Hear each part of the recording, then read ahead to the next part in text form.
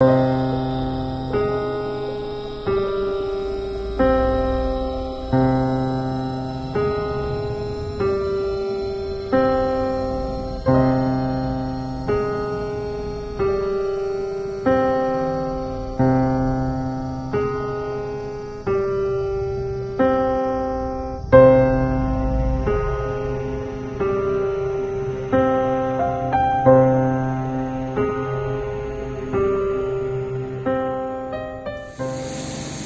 Nah, kemudian pukul 15.30 kami terima informasi dari tim yang bergerak ke atas bahwa ada tanda-tanda korban ditemukan.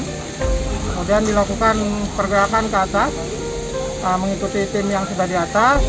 Kemudian pukul 15.40 eh, 15.49 bisa dipastikan bahwa korban tersebut adalah uh, almarhum atas nama Haji Suri yang kemudian kita evakuasi turun ke bawah. Ya.